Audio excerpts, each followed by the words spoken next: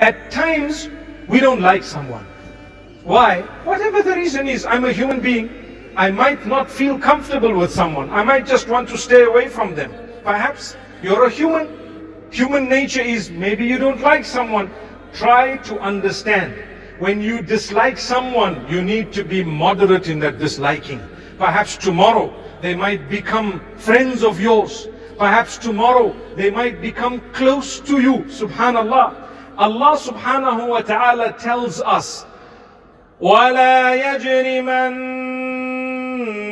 شَنَآنُ قَوْمٍ عَلَىٰ أَلَّا تَعْدِلُوا اعدلوا وأقرب للتقوى واتقوا الله Don't ever let your hatred for someone make you be unjust towards them.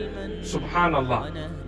Allah says, be just. That is closer to piety. When you have a relationship with Allah, if you don't like someone, you don't like them. Don't start lying about them. Don't create stories about them. Don't want to hurt them and harm them in an unjustified way, completely unjustified, because then you are the one who's wrong. How will the help of Allah come to you? So do not let your hatred of someone, or let's use the term dislike, your dislike of someone make you do something oppressive towards them. Be just.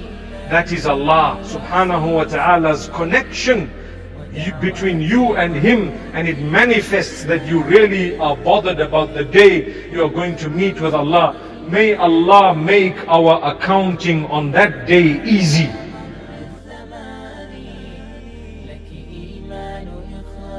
وشكري ودعواتي وودي وامتناني